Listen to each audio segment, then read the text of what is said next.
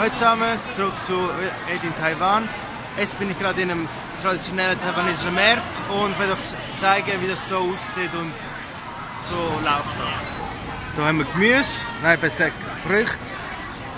Alle, alles mögliche, Früchte.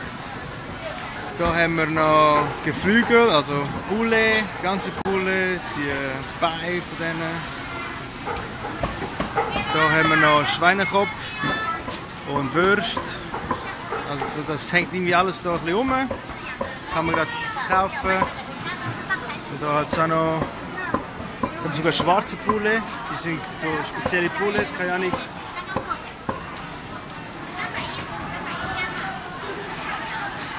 Kann man gerade kaufen.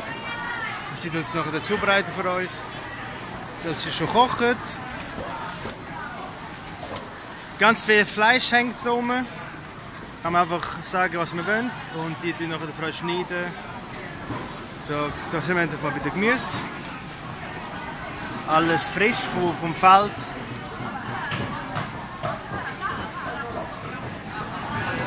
Und was haben wir da? Auch nochmal Poulet. Da haben wir auch Fleisch, das am Hängen ist. Wie es aussieht, ist das sehr fein, weil alle sind am Warten. Das ist noch am Abtröpfeln. Und keine Ahnung, was es ist. Ich habe keine Ahnung.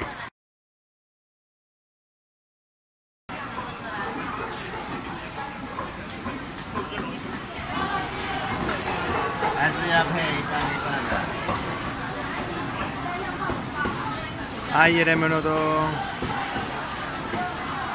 Gemüse.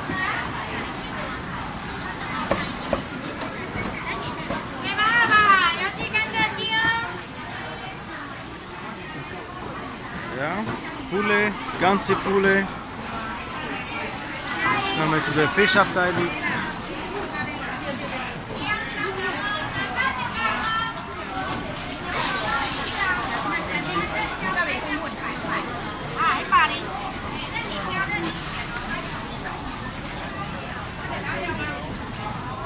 Früchte, Gemüse.